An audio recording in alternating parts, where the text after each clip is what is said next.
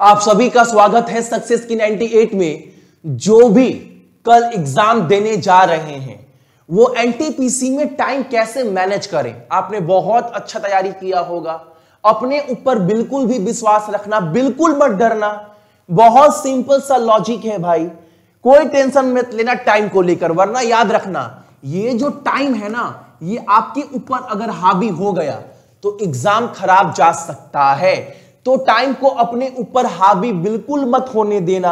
Hundred question का आपका paper है, नब्बे मिनट का आपके पास टाइम है, और आपको यह भी पता है इस हंड्रेड क्वेश्चन में चालीस question GK and general awareness बोल सकते हो करेंट अफेयर जीएस सब इसके अंदर आएगा। तीस क्वेश्चन आपका मैथ का है, और तीस क्वेश्चन आपका किसका है? तो तीस क्वेश्चन आपका रीजनिंग का है। एक बात याद रखिएगा, जितने लोग भी मेरे भाई बहन देख रहे हैं। कोई दिक्कत नहीं है आप सभी को। आप एक बात बताओ, अपने तरफ़ से सोचकर एग्ज़ाम में ना अपना बॉडी गिरने मत देना, पूरा एक्टिव रहना। पूरा 90 मिनट का गेम बहुत अच्छे तरीके से खेलना है आप सभी को। एक, और उम्मीद करते हैं बहुत लोग एग्ज़ाम से पहले अपने आप को जज भी किए होंगे। टाइम कैसे मैनेज किया जाए, इसके ऊपर भी काम किए होंगे। अब वही चीज़ जाकर फाइनल गेम खेलना है आपको एग्ज़ाम में। याद रखिएगा एक बात बताओ ईमानदारी के साथ। अगर 40 जीए का क्वेश्चन हो, पढ़े, आता है ठीक है, नहीं आता है छोड़ देंगे।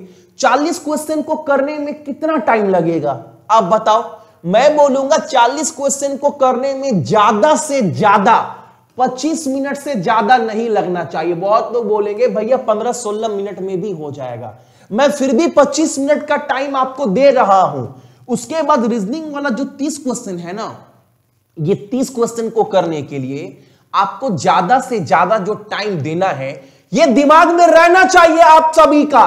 ये तीस क्वेश्चन रीजनिंग का करने में आपको टाइम लगेगा पैंतीस से चालीस मिनट का। कितना मिनट हो गया? पैंतीस और पच्चीस, साठ मिनट। तीस मिनट का टाइम बचा है।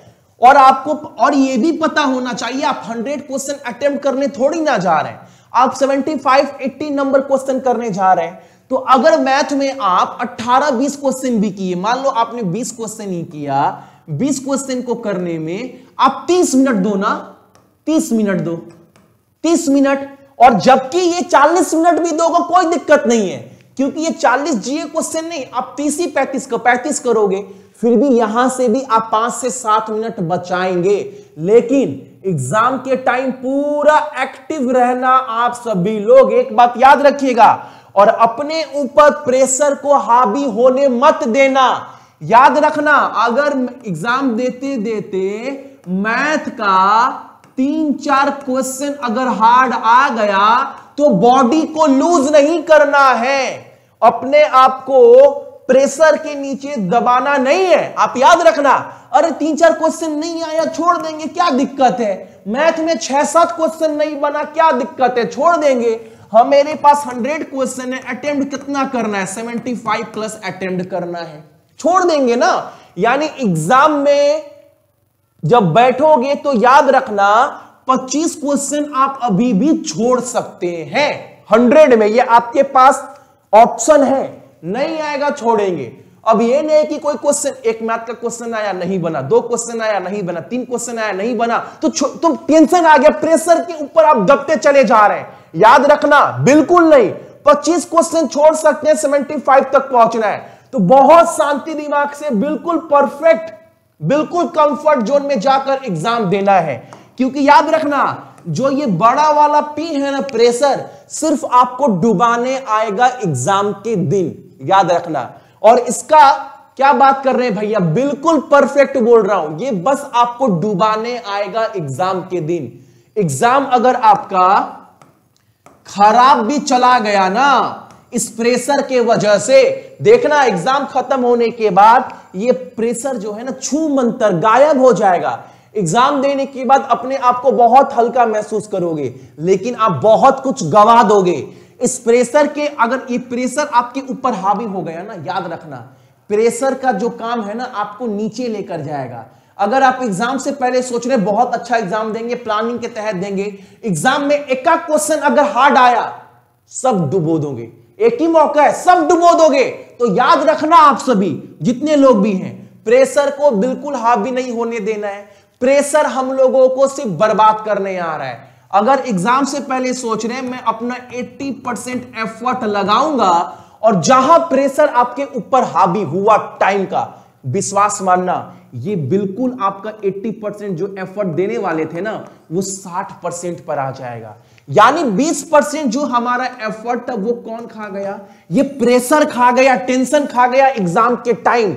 इसीलिए मैं बार बार बता रहा हूँ, एग्ज़ाम के टाइम अगर तीन चार क्वेश्चन नहीं भी बनता है दस बारह क्वेश्चन नहीं भी बनता है, फिर भी कोई दिक्कत नहीं है। मेरे पास ऑप्शन है कि मैं 25 क्वेश्चन छोड़ सकता हूँ। मैथ है रीजनिंग है और आपका जीएस और जीए वाला है। इसमें आप टारगेट रखना 18 से 19 क्वेश्चन करना है। यानी मैथ में 10 क्वेश्चन छोड़ भी सकते हैं। मैं कमज़ोर बच्चे के लिए बता रहा हूँ, क्योंकि बहुत लोगों को मैथ ही टफ लगता है। रीजनिंग में 30 क्वेश्चन है। रीजनिंग सबके लिए आसान है। रीजनिंग का पेपर आसान आएगा भी अगर आपने अच्छे से पढ़ा है टॉपिक को क्लियर किया है तो। क्योंकि एक कमज़ोर बच्चा भी बोलता है रीजनिंग वाला सेक्शन ही हमको आसान लगता है। तो आप 26 से 26 नंबर यहाँ से आप बिल्कुल स्कोर कर सकते हैं। जीए में जो मैंने आपको नोट्स दिया है, कल सारा पीडीएफ दिया हूँ मैं फ्री में। डाउनलोड कर लेना, इस वीडियो के नीचे लिंक भी दे दिया हूँ। जीएस में भाई याद रखना मेरे जितने भी भाई बहन है। इसमें अगर 30 नंबर भी उठ गया ना तो 30, 26, छप्पन अट्ठारह जोड़ोगे 70 पार चला जाता है। अगर शिफ्ट आसान हुआ तो ये नंबर और बढ़ेगा।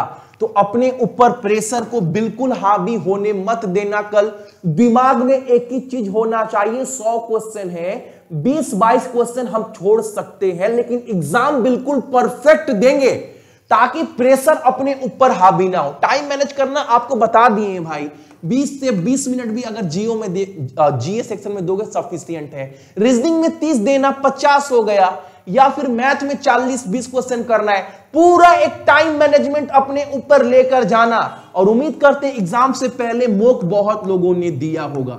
क्योंकि मैं बहुत बार समझाया हूँ, मोक बहुत इंपॉर्टेंट रोल प्ले करता है एग्ज़ाम से पहले। आपको पता होगा एग्ज़ाम से पहले मोक देने के बाद कि मेरा कैपेसिटी कहाँ है। मैं कहाँ पर अटकता हूँ? मुझे कहाँ काम करना है? इसलिए मैं बराबर बोलता हूँ एग्ज़ाम से पहले मोक देना ताकि आपको बेनिफिट हो पाए। आप पता लगा पाओ आप कितने पानी में हो, कितने पानी में नहीं है। सभी कोई मोक देता है, ठीक है? चलिए best of luck best of luck everyone good luck बहुत अच्छे से एग्ज़ाम देना, ताकि हर स्टूडेंट के मम्मी, पापा अंकल आंटी का सपना जो है ना, इस बार कम से कम पूरा हो जाए। बेस्ट ऑफ़ लक मेरे भाई बहन